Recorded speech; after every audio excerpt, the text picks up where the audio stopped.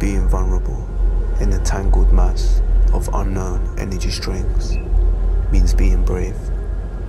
For those who choose not to shout out their bravery, wear it, let others discover it.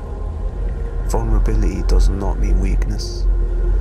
If you keep your guard up high all the time, people can't look into your eyes, can't read your lips, can't touch your skin. They can't feel you, you're not there.